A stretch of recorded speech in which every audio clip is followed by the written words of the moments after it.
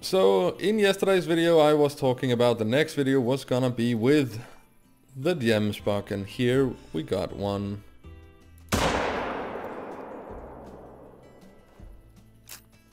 Where the hell did I hit that? Did I get lungs?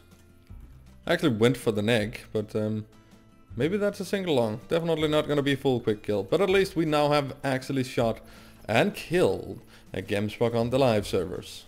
I'm also so happy that you guys are coming up with so many great suggestions to where that picture I showed in yesterday's video could have been taken. So many great ones and if you have any idea where that could be and what it means, please leave them in the comments below.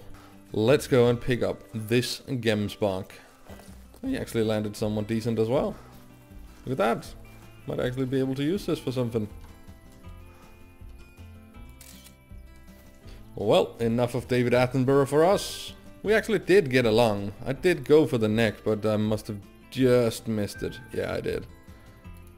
No entry wounds on this guy either. We found another herd right over here, and that guy right there does look to be somewhat interesting. So I think we're just gonna get a little bit closer, maybe get into this bush and see if we can get a shot towards I kind of want to go low spine, top of the lungs, because that just seems to be the area to hit these guys. Should be okay from here. That dropped it right on the spot.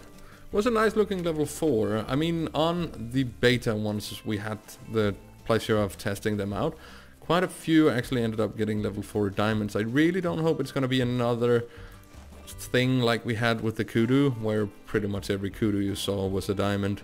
But uh, let's just go and harvest him and see where we end up. Our consecutive harvest should be good, so I think it's gonna be alright. But it's pretty much just like I said on my beta videos as well, that these guys are just a joy to watch. I'm really happy with the way they look and definitely gonna add something to the savannah for me.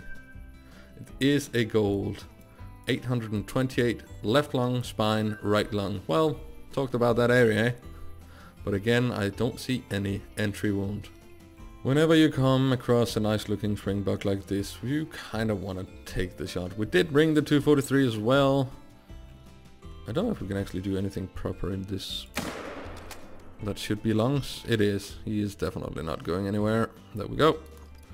Down nearly right on the spot. There's another one jumping off right there. Not anything special.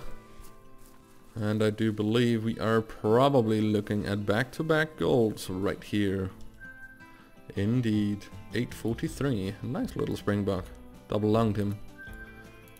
And I still don't see no entry wounds. And another nice level 4 over there. I mean, we could go for the lungs again, but I kind of want to go pretty much just on the back spine. Like that when you have an elevation and you can just look down on the Gemsbok, it does seem so easy to just aim at that black stripe they got going down right in the middle of the back. It is pretty much just hit me right here, thank you. And as most of you has probably noticed as well, we are using the 338 on the Gemsbok.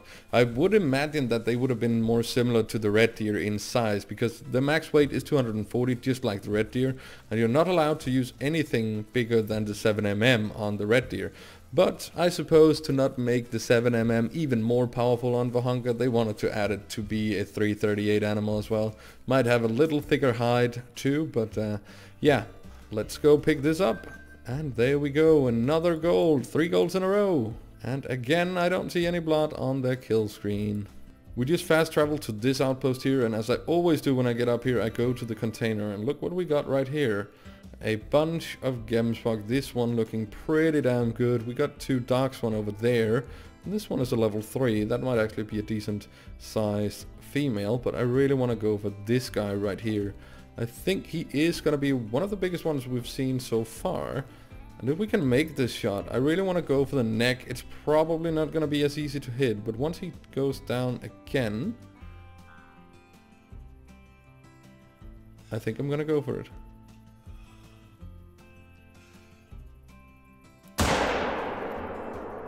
There we go. Oh! Apparently we are shooting a silence gun or something. I want one of these then. Gonna go anywhere either. Single long shot, I think. I don't know. They seem very bugged. Let's test this out then. We got the 4570 as well. This distance, go a little low. Oh, wow.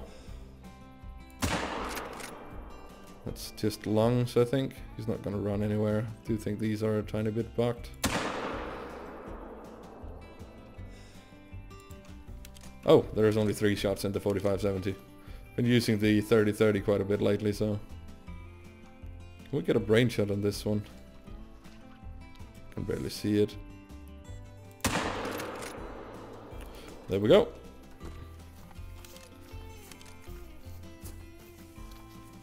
Yeah, it's the first buck I somewhat have with the gems Gemsbok. But uh, yeah, we did get the first one pretty much on the spot and that was the one that I was going for, the big level 4 male. I'm gonna harvest that one first because I think we might be looking at another gold, which would make it four golds in a row. And that is pretty impressive. Oh, look at the way that one went out of this world.